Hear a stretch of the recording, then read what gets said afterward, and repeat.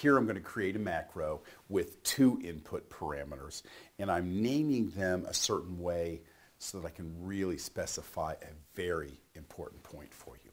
Here I create the macro, macro name, open paren, I call it in employee know, and the next variable I call salary, close everything up, then say as, and as you can see here, I'm going to update the employee, set salary equal to colon salary, as in the variable coming in. Anytime you see that colon, you go, that's input, those are parameters being passed in where employee number equals colon in employee number. So I can actually name my variables the same column names as in the real table and it's no issue.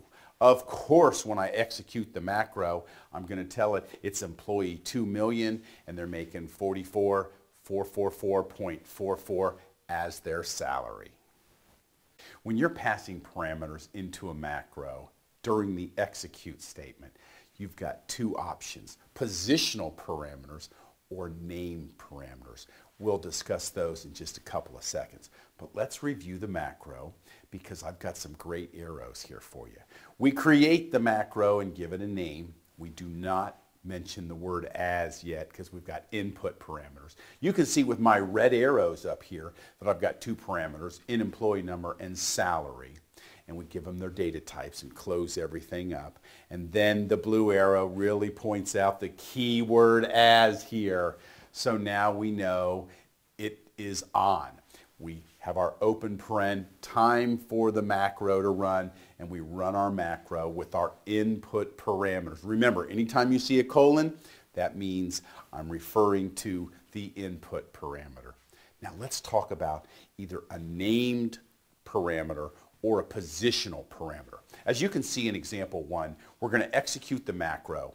And it doesn't matter what order we put the parameters because we actually give it a name. Salary equals in employee number equals. So it doesn't matter what position they're in because they're named. Now in our second example, number two, we've got positional parameters. We know that the first parameter is in employee number and the second parameter is salary. So the positioning must be perfect. So we say I want to execute the macro.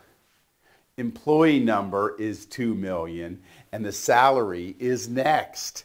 So if they're in the perfect position, that's going to work just fine. This lesson is brought to you by Coffing Data Warehousing. Do you have two different systems that hold your data? Our query tool, the Nexus, now lets you move data freely between them. Great for data movement and for joins, the Nexus is ready to help you cross boundaries. Visit coffingdw.com for more details. Hi, this is Tom Coffing. Thank you so much for watching the video. Please hit subscribe to make sure you are kept up to date on all our videos.